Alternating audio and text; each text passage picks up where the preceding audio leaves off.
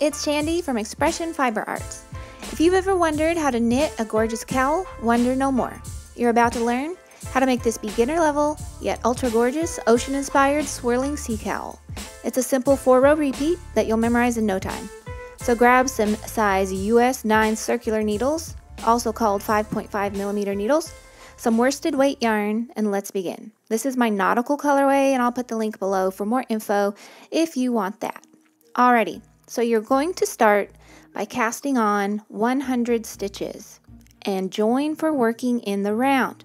Now, I'm going to assume that you know how to work in the round. If you don't and you need help with that, I recommend you look up how to work the magic loop method, which is what I'm using. I'm going to cast on way fewer stitches, so I'm not taking up your entire day showing you how to knit this.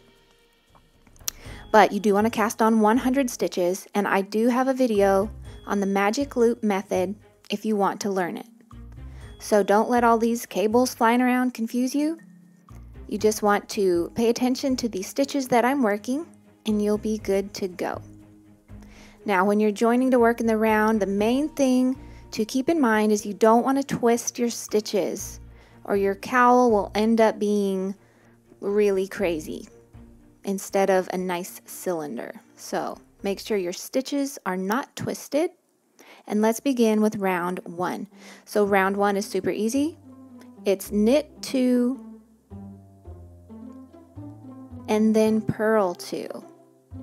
And you repeat that all the way around. So again, it's knit two, purl two. And you repeat that all the way around to the end of your round.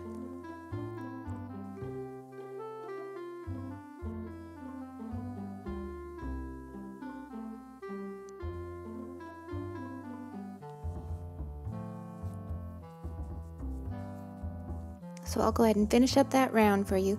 And like I said, this is my nautical colorway. If you want that information, I'll put the link below.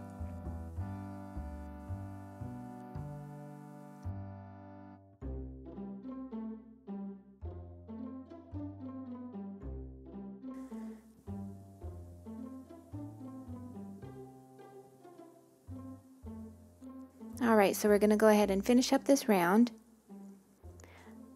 We have four rounds total, so it's very easy to memorize. You'll have it down pat in no time. Okay, let's go ahead and get started with round two.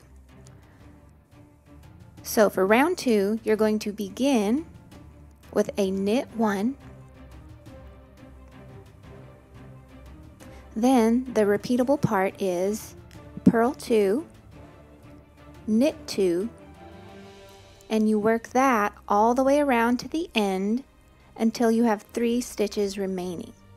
So again, you start with a knit one, and then you work purl two, knit two, all the way around to the end until you have three stitches remaining. And then when you're finishing up that round, you're going to work purl two, knit one. And you'll see once you've worked a few rounds, you're going to see this starts to create a really cool spiral effect. So I named it the Swirling Sea Cowl. It looks pretty cool. And it's reversible, which is awesome. Okay, round two complete. Let's move on to round three. Round three is purl two, knit two. And you repeat that all the way around. Very, very simple. So again, round number three, you start with purl two,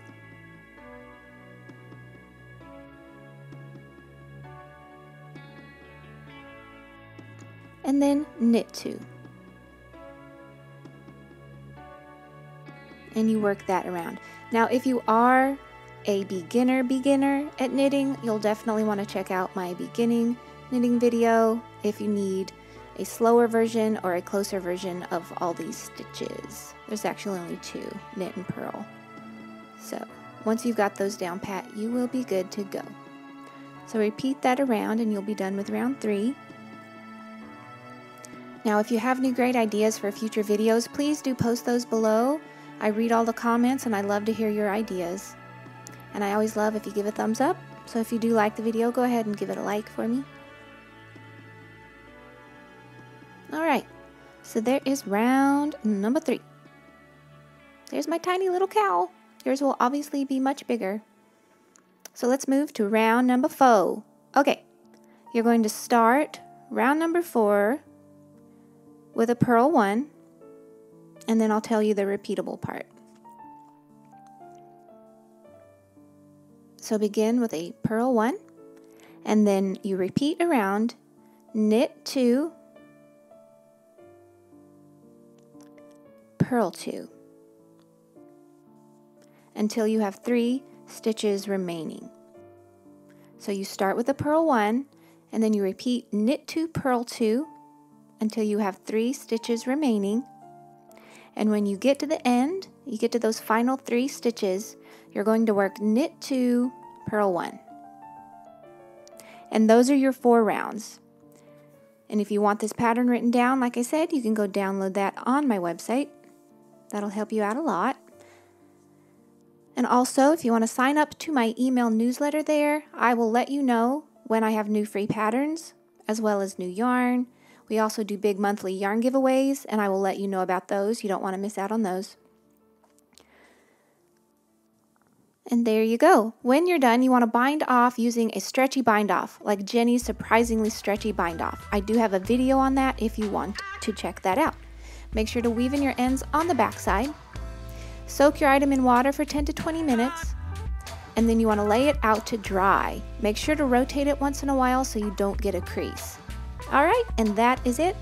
I hope you enjoyed this tutorial. I hope you have a great day, and stay tuned for next time. Alright, bye-bye.